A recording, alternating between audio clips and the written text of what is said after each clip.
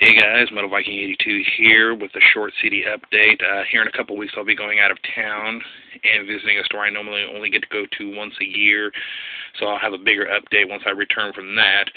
But uh, these ones that I got here are ones that I picked up at the same store I pick up my vinyl which if you want to see what my newest vinyl purchases are, check out that video. But uh, in addition to that, these first three I picked up at an outlet store for uh, Half Price Books, which is a place I sometimes find some really good uh, metal CDs and vinyl. But uh, these first three were only a dollar a piece, and the first couple are some Coal Chamber singles. You can see that. This one has... Uh, Notion, Tragedy, and No Home on it for a dollar, and it was in really great shape. I thought I'd get it. And another one, this was a Tyler song. I not only bought it because I'm a fan of Coal Chamber and that it was a dollar, but it also has the song Tyler's Song, which, you know, Metal Tyler 1 is my nephew, so I had to get that, he thought it was really cool when I showed it to him. And then I picked up this on a whim. It's the uh, only EP from a Canadian death metal band called Nefarious. This is Global Warning.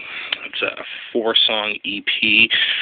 They were unsigned when they broke up, and this was the only thing they put up besides a couple demos, so I figured for a dollar's worth a shot, and it was not too bad. I finally got some Ex Deo. This is their latest one, Caligula. I had heard the song Romulus, but I had yet to pick up the album. When I saw this down there, I thought, you know, what the hell? And it was a lot cheaper than FYE. FYE went like 18 or 19 dollars for this, and I was not going to pay that. Got another Primordial. This is uh, To the Nameless Dead. Really good album. Uh, vocally, it kind of reminds me a little bit. I couldn't help but think of uh, Bathory when I was listening to this. Just the clean vocals. His, I don't know, they just remind me a lot of Quorthon. And of course, I had to get the new Suffocation, uh, Pinnacle of Bedlam.